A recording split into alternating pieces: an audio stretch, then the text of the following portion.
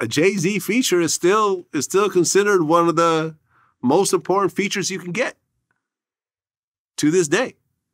Drake.